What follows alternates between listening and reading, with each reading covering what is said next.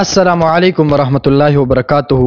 نننۍ ویډیو زمونږه د رزق متعلق ته چې زمونږ په رزق کې با څنګه فراخي راځي کنن سبا تاسو وګورئ کنه نو ډیره زیاته چې کوم دی غریبي دا غربت ته هر طرف ته چې کوم دی غربت ته هر سړی جاړي چې یره قاری صاحب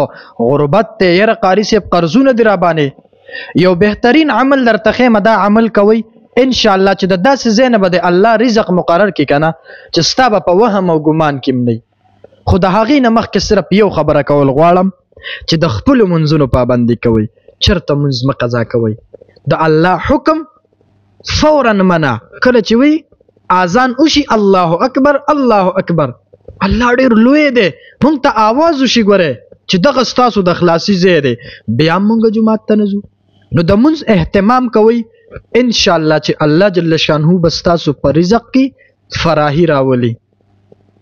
د سلورو سيزونو د وجنا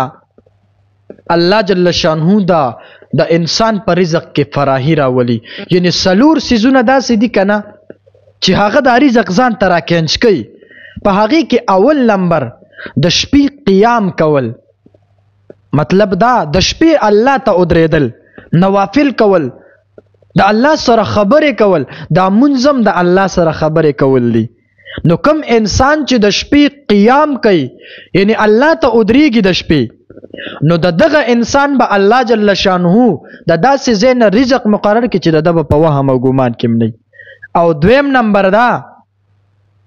چې د سحر د منځ نه بعد استغفار ډیر ډیر ویل